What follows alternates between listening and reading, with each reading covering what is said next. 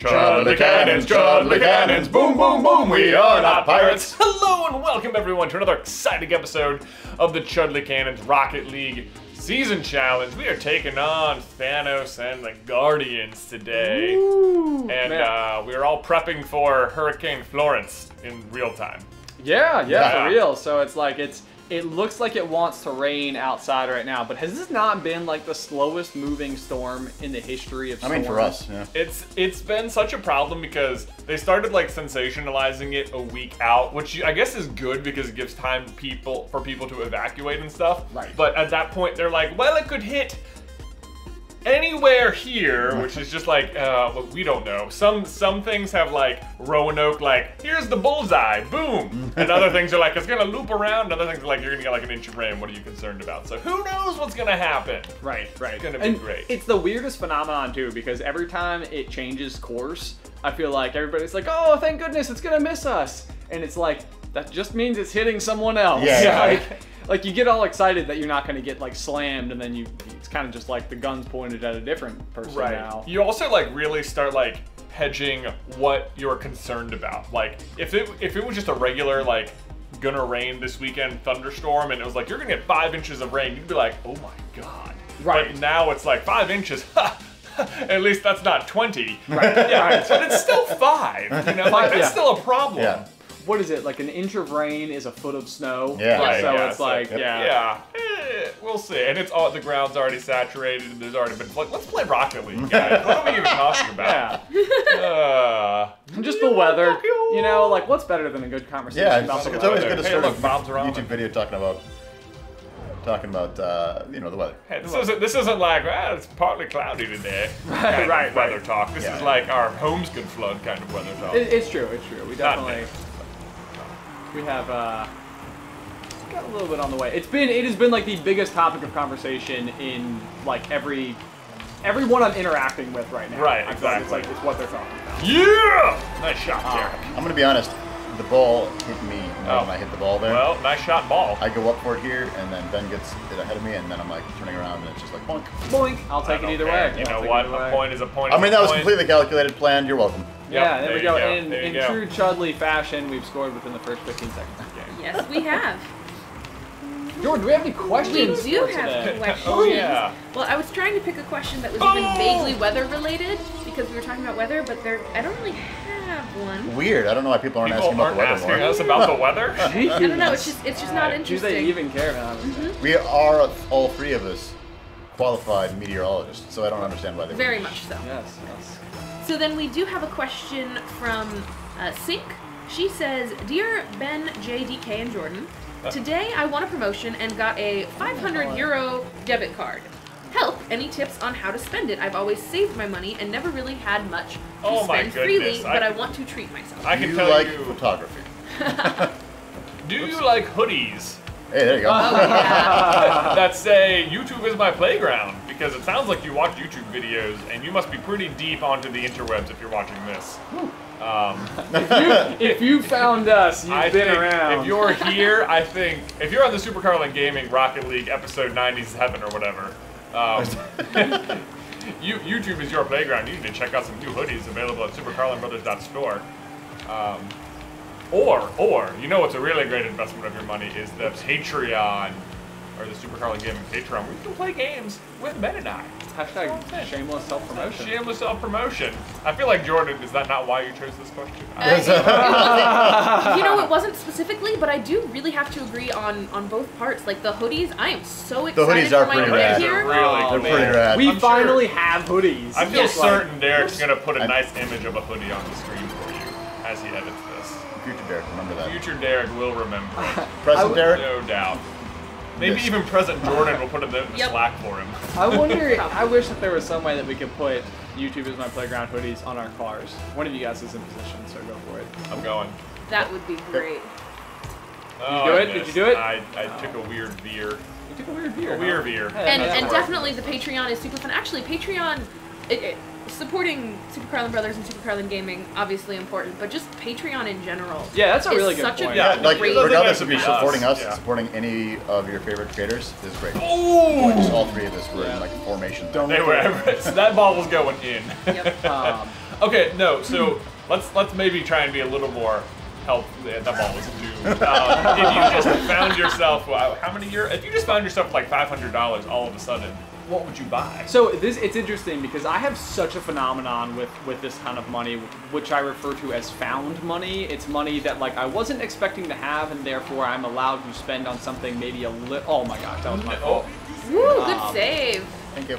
I'm, I'm allowed to spend on something slightly more frivolous. Like I, I like to seize it as an opportunity to not have to be responsible. right. How can you be as irresponsible as possible? I think that's what her question is, though. Right. I mean, yeah, what like should I irresponsibly spend on? right. Like, what is Yeah. the fun thing? What would you guys spend it on? Uh, probably some kind of camera equipment, I would probably get skates for Derby. or or uh, a trip. A what? A what? Trip. I never A go trip, anywhere with trip, my a money. Trip is I- probably where I would go. I thought with you said a crypt. I know. I was trip, like, yeah. what did? I want to be. I want to be the crypt keeper. Yeah. Yeah, oh man. Yeah, trip is probably is a great way to go about it. Um, Yeah. Like, where, I- where is a place that I have you this like? tendency to always. or uh, outrageous dinner. Oh man, yeah, that's always a good one. or an outrageous dinner on your trip. On your trip, On your that's trip. right. Maybe don't spend this all like two hours of time in a restaurant. Maybe, Maybe not. maybe not. You know, actually, one thing that I did uh, for a girlfriend one year for like a, a Christmas, no, for a birthday present, um, I had no idea like what to go with, uh, and I think I had actually just come into some found money from an aquarium project I had just done. And so, literally for her birthday, I took her to the mall and said, "You have five hundred dollars." Oh man, how That's fun! like, you went on Um, a shopping spree. It's a, it's a, I don't know how to re- responsibly spend this money, so you get to. So you get to. No, I thought it was really cool because like I No, that'd be went, I went with her and it was like uh, it was just like a neat experience because it was um, not a situation we typically found ourselves in where we could just go buy clothes or sunglasses Yeah. or you know just whatever. I mean like the the stuff that's always too expensive to actually just go pull the trigger on. Yeah, absolutely. Um, and so I think it was it was sort of like a, a neat experience to just sort of feel like a baller for a hot second. yeah, absolutely. That's awesome. Yeah. So. New goal is to score with a bicycle, guys. or, oh, I was just gonna say, Oh, you know man. what? I'll settle for still just scoring, but uh, Mm-hmm. Alas, I did not. I want, the turtle score. You want the turtle score? Yeah, what we is score that? perfectly upside down. Oh, Ooh. like a, is that is there like a is it like, combination yeah, for does that? it say turtle score? Um, it gives you like a little turtle symbol. Oh, that's cool. Oh, tur- turtle. Binya, binya. Um, I would say, yeah, like one of the things that video games just always, always, always need to do is have just as many awesome commendations as humanly possible. I agree. yeah, It's- it's, it is- it fun. Always fun whenever you can get like, uh, you know, the kill from the grave or whatever. One of my Yeah. favorite games that does this really well that we played on the channel forever ago was Castle Crashers. Castle That Crashers. game. That was like one of the first things we ever had Derek work on. Gotta. Yeah, it's true. Look at that. Bicycle Oh, save! No! Oh It's my all up in our business. I know that we don't have a whole. Oh, it's bad. No! Goodness I almost had it. Right after I I had almost such a had it. pretty save there. Look at this. Oh, look at that Backward reverse save. yeah. Yes. And then I hit it into And Sentis. then you hit it Ugh. into Ugh. Oh. Centis or Centice? Ah, I'm not even sure. I don't know either. Smelly We don't ice. have a whole lot of time left on this particular game, but I've got a quick question All from right. Chris Reno. Okay. He asks what y'all's 5K race strategy is. Do you aim for a negative split? Yes. And how Yeah. many parts do you break the race up into? Three. Three. Yeah, I'm a, I'm, I'm a big negative split fan. Um, there we go. Boom! Yeah, Um, um, yeah, negative It's splits. one of the hardest parts about negative splits. For, for those people who don't know, negative split Yeah. means you run every mile uh, faster than the one before it. So if you start at like a seven minute pace, then a six minute pace, then a five minute pace, for Yeah. example, for easy numbers. Um, not that you should be running those kinds of speeds or anything, but uh, I was gonna say, isn't a five minute pace like bonkers? yeah. Well, if you're maybe if you're in high school, it's not. But Yeah, if if you're yeah high school cross country. I, I remember there was one race, and so I say negative splits. The hardest part about it though going out slow. is going out slow because everybody just beams off the They are line. flying. Yeah. I had I had a race once where my first mile of the race was a 5:15, and it was just like, that's not good. like like the our coach was standing at the mile marker like reading off the times, and I yeah like You're going to die. Whoops. um, or be the state champion. or be the see. Yeah. Yeah. But no, that's that's the big thing. So for those people who have ever heard of Steve Prefontaine, he was a very famous runner in the Very uh, famously did not. very famously did not win uh, in the Olympics. Woo! Go the cannons. Instead, came in fourth uh, because he was such an out front runner and couldn't hang, you know, because he was doing all the work. Nobody could draft, or he wasn't drafting off anybody. So I would say, yeah, try to go out calm. You know, get yourself all collected, and then and then just continue to. increase the speed. It's interesting because I was always really bad at doing this. Like I always preach it as if I knew exactly how to do it, but I was bad at it. Um, but in just later on in life, when I'm gone and like tried to train for like half marathons and stuff, I found that a lot of times I just start out running really slow at the beginning of the run because it's like, well, this is just like a 10 mile training run. I'm not going to be pushing myself hard or anything here. But then, sure enough, after about two miles, I'm like, hey, wait a minute. I'm doing this. I can I can actually start moving all of a sudden. It's like yeah, it, it is easier to go faster later than you think. right. It's just hard to restrain yourself early. But if you're if you find yourself like in a in a cross country situation, you know that person who's like two people in front of you, that is a good person to just literally go into the race and be like, I am staying with Ryan Caps today. Ah. and it's like no matter what happens, I am going to be glued to his side, and that's sometimes a good way to even just boost your speed because it's like no matter what. Um, the other thing that I've had for myself is literally a day where I just went out and went for it, no Mhm. pressure whatsoever. Went to the track and was like, I'm gonna see how fast I can run a 5K. Yeah. And it was like, if I fail, no big deal. Right. Yeah. Do, yeah. Give yourself non-pressure situations.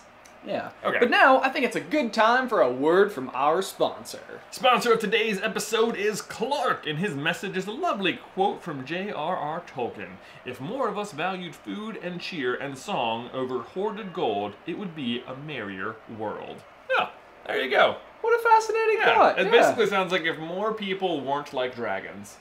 That's true. That's More- true. it's like- that is what J.R.R. Tolkien was saying. Which is perfect. It's just because we're playing. Because we're playing the dragons! All right, who, everyone. who we all know value Right. gold way too much. Oh, right, Yeah. exactly, exactly. So, um, don't be a dragon. We're not pirates. Here we go. Boom, boom, boom. That was just very funny. I'm giggling over here.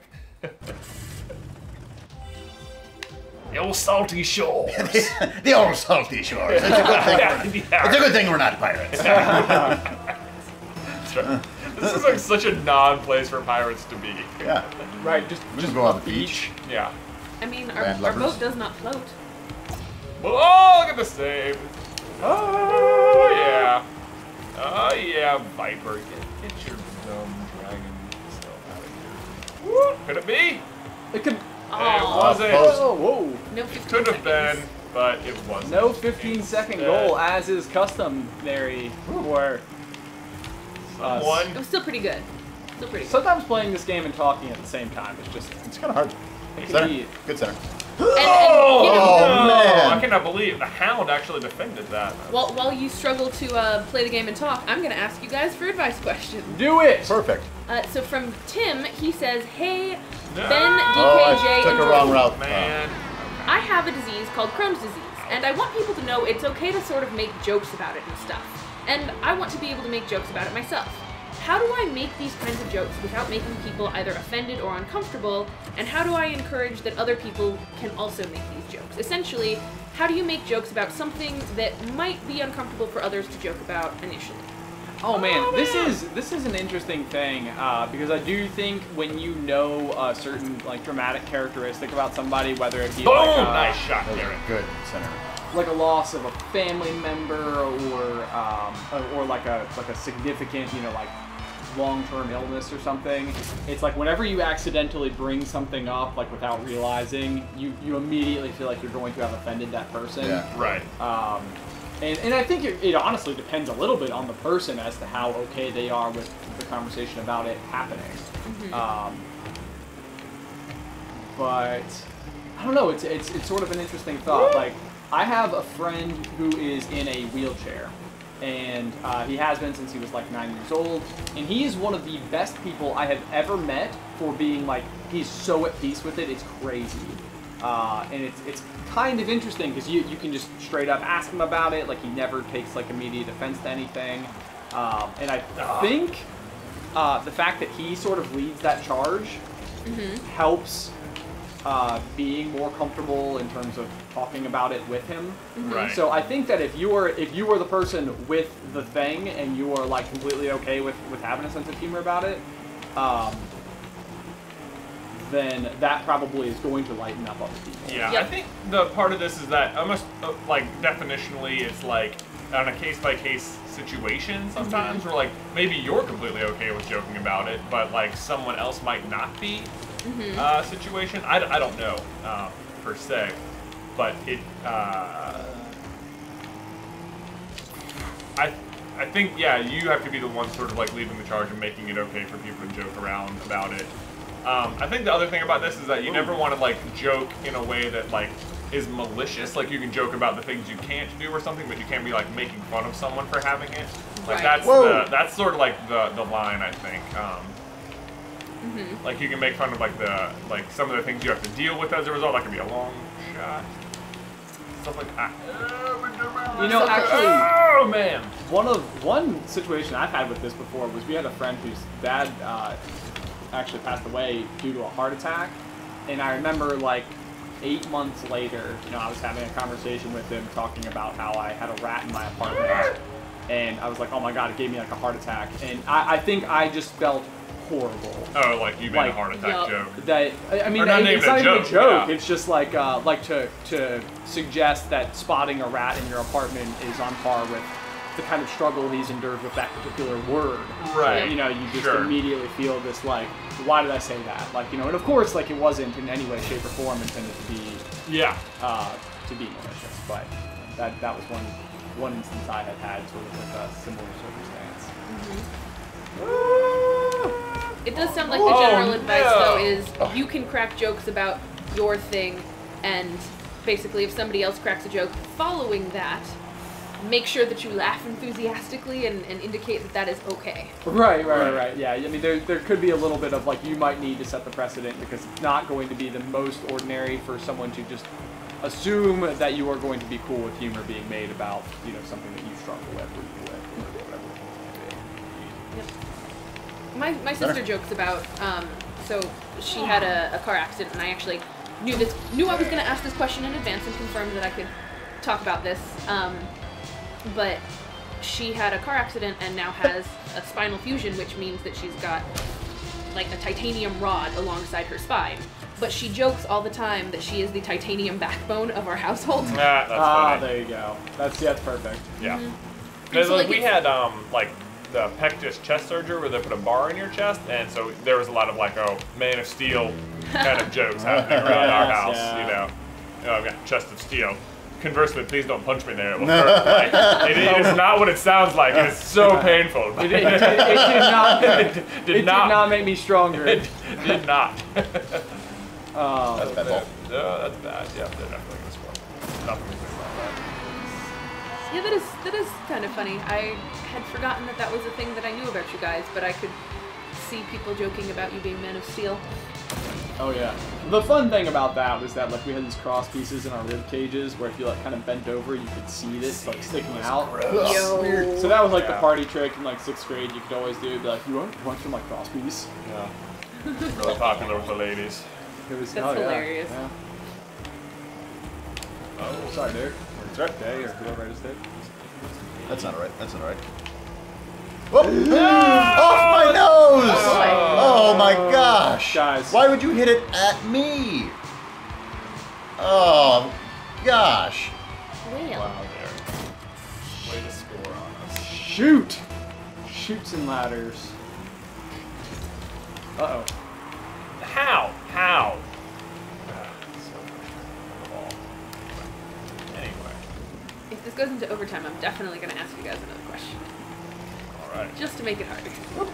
Well, we have 10 seconds, y'all. We got it. We got Center! it. It's a good center! Oh no! no! They popped it up. Alright, well. Gotta believe. Still alive. Gotta Still alive. believe! Yeah, Dang it. it's not alive, okay. They really jumps to overtime so fast. Yeah, it's Yeah. like, Like that. and It's like three, two, one, game go. over, and we're in overtime.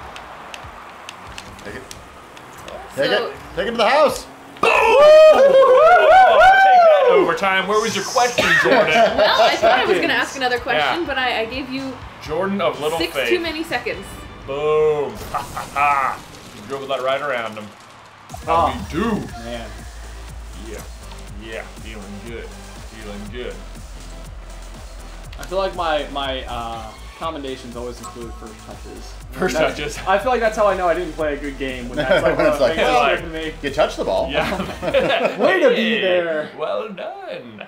All right, man. Take that, um, not dragons, as it were. Oh boy, coming up in next episode, we have Viktor Krum and the Seekers. But uh, guys, thank you so much for uh, watching today's video and hitting that like button and leaving us new questions to answer, probably about the weather. Maybe. Probably most likely. Maybe. Most likely. Speaking of, I think this video goes live on Monday. Yeah. Yes. Which I believe is when the weather shall be hitting us. Yeah, So- we it's gonna could be be mid-weather as you listen. Yes, yes. so Crazy.